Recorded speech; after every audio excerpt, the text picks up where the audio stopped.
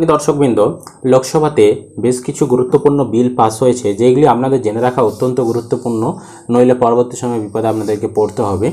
Voter card, জন্ম certificate, মৃত্যু certificate, এছাড়াও বিয়ার রেজিস্ট্রেশন, সমস্ত কিছু নিয়ে গুরুত্বপূর্ণ আপডেট এসেছে। আমরা সেই সকল বিষয়গুলো আজকের এই ভিডিওতে আলোচনা করব। অবশ্যই ভিডিওটি উপকার আসবে। শেষ পর্যন্ত দেখতে থাকুন। চ্যানেলে নতুন হলে চ্যানেলটি সাবস্ক্রাইব করবেন। যারা ফেসবুক থেকে দেখছেন, পেজটি ফলো করতে ভুলবেন না। দেখুন, এই সংক্রান্ত আপডেটে বলেছে, হট্টগোলের মধ্যেই আজ লোকসভায় পাস হয়ে গেল জন্ম ও মৃত্যু নথিভুক্তি সংশোধনী দু হাজার তেইশ বিলটি। আগামী দিনে রাজ্যসভায় বিলটি পাশ হলেই তা আইনে পরিণত হবে। ওই আইন বাস্তবায়িত হলে প্রতিটি জন্ম এবং মৃত্যুর হিসেব যেমন রাজ্যের তথ্যভাণ্ডারে জমা থাকবে, তেমন তা যাবে কেন্দ্রের ঘরেও। বিরোধীদের মতে, এ হলো যুক্তরাষ্ট্রীয় কাঠামোয় কেন্দ্রীয় হস্ত ওই আইনের মাধ্যমে ঘুরপথে জাতীয় নাগরিকপঞ্জি তৈরি করার লক্ষ্য নিয়ে কেন্দ্র এগোচ্ছে বলেও অভিযোগ সরব বিরোধীদের। গত বুধবার লোকসভায় বিলটি পেশ করেছে শাসক শিবির। উনিশশো উনসত্তর সালে জন্মমৃত্যু আইনের সংশোধন করে আনা ওই বিলে বলা হয়েছে, আগামী দিনে কোনো শিশুর জন্মের রেকর্ডই নথিভুক্তি বাধ্যতামূলক হতে চলেছে।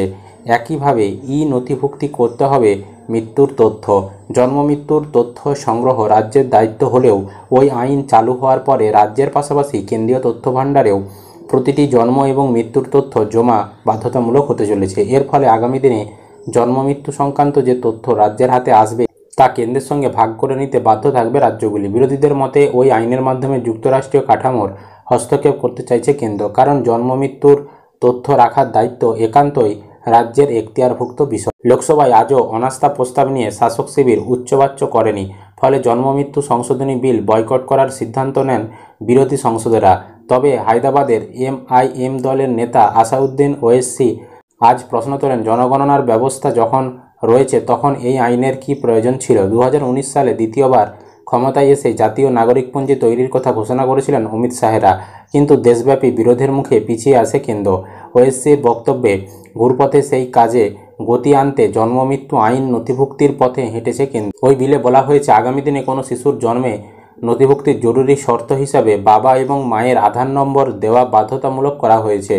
জন্মের ওই শংসাপত্র পরবর্তী সময়ে স্কুলে ভর্তি থেকে শুরু করে গাড়ির লাইসেন্স, ভোটার তালিকায় অন্তর্ভুক্তি বিয়ের নথিভুক্তি, সরকারি চাকরি, পাসপোর্ট বা আধার তৈরি করার ক্ষেত্রেও দরকার তাছাড়া এই ব্যবস্থায় আঠেরো বছর হলেই নাম নিজের থেকেই ভোটার তালিকায় উঠে যাবে।